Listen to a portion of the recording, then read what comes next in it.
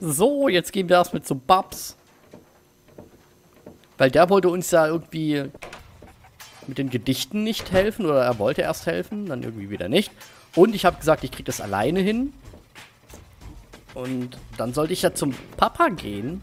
Zu seinem Daddy hier, wenn, sobald ich irgendwie ein cooles Gedicht habe. Und vielleicht müssen wir das jetzt da irgendwie klar machen und hoffen, dass da der Dichter über die Wanze helfen kann. Vor allem eine Wanze.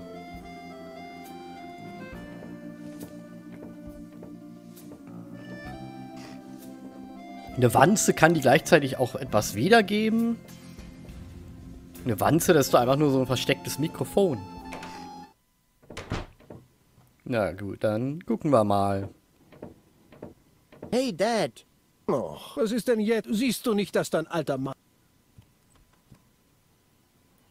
Äh, ich weiß jetzt, alles klar. Ich weiß jetzt, mit welchen Worten ich Goal beeindrucke. Na, mach dich nicht lächerlich. Zu spät. Hä? Vielleicht bin ich nicht so gut mit schmalzigen Worten. Dafür habe ich aber das hier. Ohrenschmalz? Einen Souffleur. Der Dichter wird mir die richtigen Worte Aha. einflüstern. Dieser arme Schlucker, der unter mir wohnt?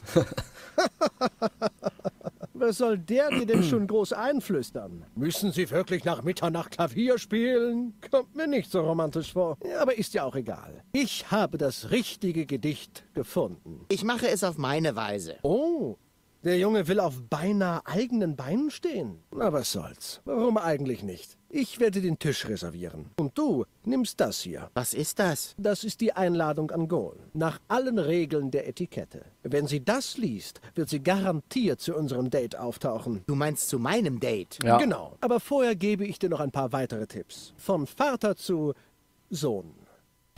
Irgendwie war das rührend. Er hat mir sogar einen Anzug geliehen. Am Ende ist er doch kein so schlechter Kerl. Okay, soll ich jetzt den Anzug anziehen? Wenn ja, wo? Ich müsste nach Hause, ne? Ähm, ja, lass es uns einfach probieren, ehe wir jetzt unten reingehen und dann wieder zurück müssen. Düt, düt, düt. Äh, Industriegebiet, nein, hier Docks.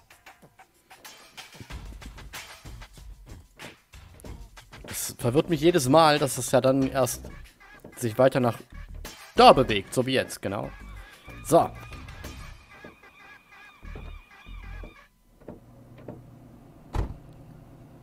Habe ich hier sowas wie einen Kleideschrank? Ja, wie abgeranzt. Guck mal, die Bon ist kaputt. Jetzt gibt hier aber nichts zu machen. Okay, dann gehen wir jetzt zurück. Draußen ist dunkel und da, guck mal, da ist hell. Oh, die Maus ist immer weg bei Animation. So, und zwar... Ähm, ja, eigentlich... Wir brauchen doch nur hier zurück, oder? Genau. Dann haben wir das Restaurant. Probieren wir es erstmal ohne Anzug. Im Gadget Shop war ich auch schon lange nicht mehr drin.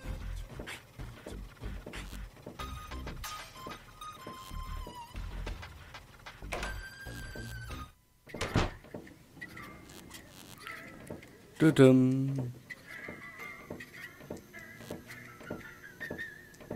Hi. Himmel, du schon wieder. Du gibst wohl niemals auf, was? Tja, damit muss man halt leben, wenn man mich kennt. Wie mit der ständigen Angst vor gefährlichen Körperverletzungen.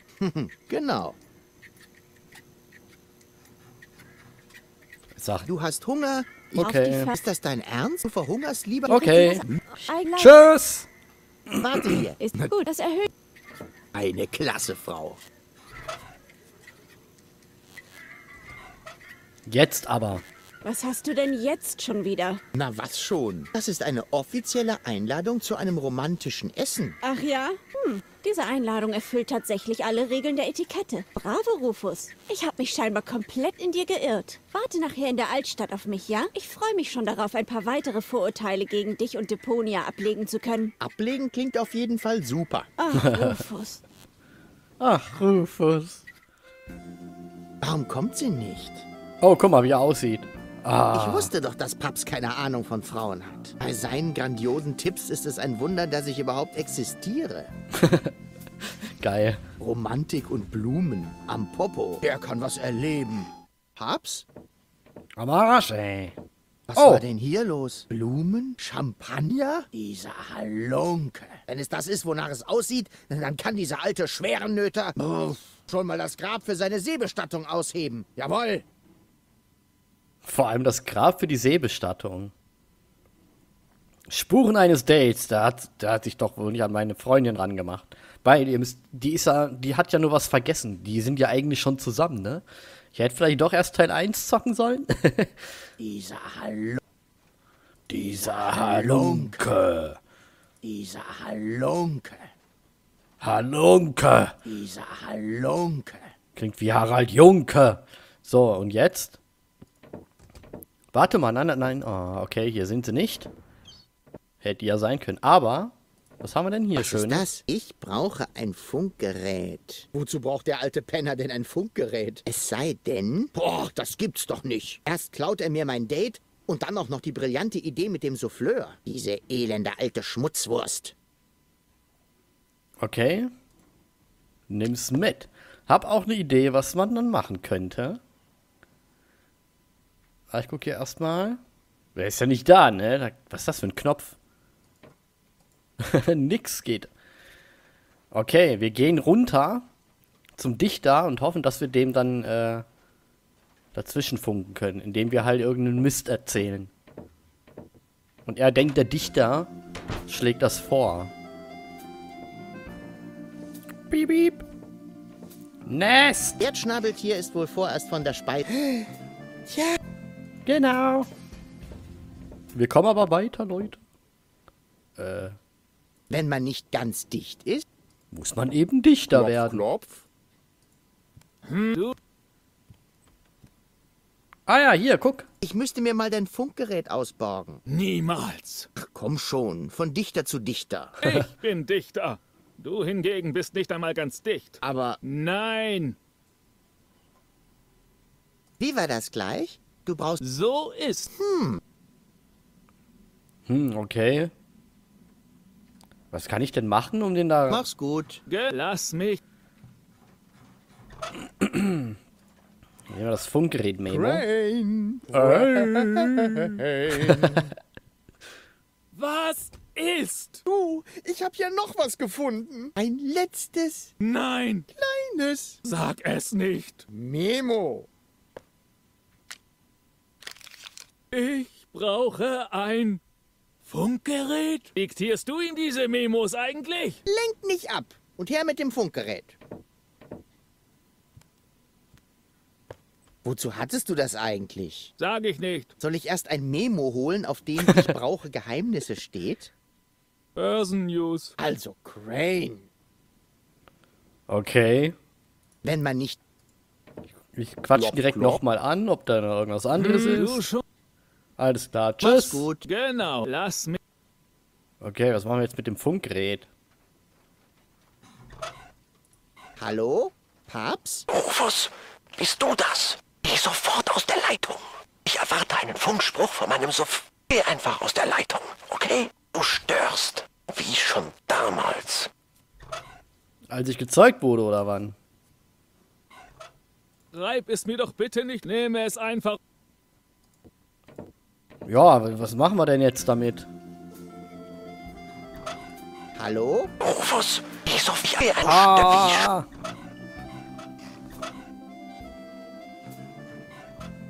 Hä? Wer kann denn mal durch das... Wir probieren es einfach an allen Leuten aus. Ich habe jetzt keine Idee. Vielleicht höchstens der, der so hässlich singt, der Gondoliero. Er hat eine Harke. Er sollte wunschlos... Ja, okay.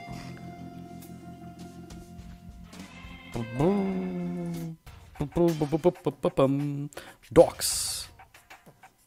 Nein, doch hier zum Hafen.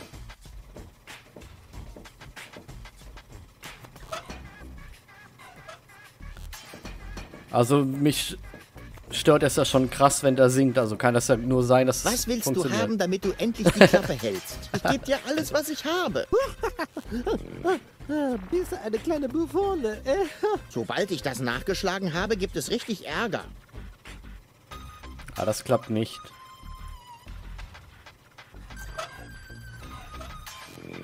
Warte, wir gehen einfach mal in die Scheune.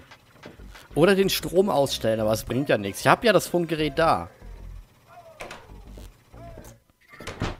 Hä? Nein, ach Quatsch, hier sind die ja nicht. Boah. Ich probier's mal beim Boso. Hast du eine Idee, wie mir das hier helfen könnte, eine der Goals rumzukriegen? Nö, keinen Schimmer. Och, nun streng dich doch mal an. Nur weil ich dir den Nachmittag freigegeben habe, heißt das nicht, dass du nicht mehr mitzudenken brauchst. Freigegeben? Seit wann arbeite ich denn für dich? Du hast mir ja noch nicht einmal die Überfahrt bezahlt. Und wenn du weiter so frech bist, kannst du noch länger drauf warten. Ah, das ist irgendwie auch keine Schlüsselfigur. Hier, ich glaube nicht bei den an. Das zeige ich ihm lieber nicht. Am Ende Wenn ich schon hier bin, oder? Können wir auch gleich alle kennst du durchklicken. jemanden, der sich mit sowas hier... Puh, keine Ahnung. Mit Schrott kennt sich hier eigentlich jeder gleich gut aus. Alles klar. Der hier. Lass mich in Ruhe. Ich muss arbeiten. Ein dreifaches Hi-Ho auf unsere fleißigen Freunde, die Kleinverdiener. Das war aber nicht nett. Überhaupt nicht. Was soll das werden? Eine Herausforderung? Zeig mal her. Was soll denn das? Das ist ja gar keine Turnierhand. Das habe ich auch nie behauptet. Und warum sollte mich das dann interessieren? Komm wieder, wenn du dir offizielle Turnierfinger besorgt hast. Offizielle Turnierfinger. Haben wir nicht. Äh, oh nein, nein, nein, weiterspielen. Sorry. Da will ich hin. So, die haben wir abgecheckt. Vielleicht... Oh, bitte nicht. Ich probier's beim Angler. Oder der, der Doktor. Dr. Dr. Sunshine. Der könnte vielleicht helfen. Aber ich glaube auch nicht, dass der Angler irgendwie hier was reißen kann. Wie wäre es mit einem weiteren Du hast schon den Tiger und gefühlte Sch Was willst du denn? Hast du Bargeld? Verzieh dich. Hast du Bargeld dabei zum Gadget-Shop? Warte mal, ich gehe rein, ich gehe rein. Wie gesagt, wenn wir schon mal hier sind und es ist der letzte, der übrig bleibt. Ich kann es mir zwar nicht vorstellen. Aber warte, der hatte so komisch Stimme gehabt, oder? Oh krass, hier gibt's ja voll Zeug. Bananenentkrümmer. Oh geil. Wird ja auch Zeit, dass den mal... Und was ist das hier? Was Sie dort nicht sehen, ist der goldene Drache der Unsichtbarkeit. Es tut mir sehr leid, aber bei dem goldenen Drachen der Unsichtbarkeit handelt es sich nicht um ein Vorführmodell. Ich habe ihn gar nicht angefasst. Ich wollte nur meine Finger etwas ausstrecken und... Ahem. Ist ja schon gut. Lottomat. Schredder. Anti-Schwerkraft-Socken, Saftpressenhut. Eine sehr gute. Bitte vergessen Sie nicht, die Ware zurück an ihren Platz zu legen, bevor Sie den Laden verlassen. Als ob. Jetzt bin ich aber mal gespannt. Haha, geil. Au! Das ist ja voll cool.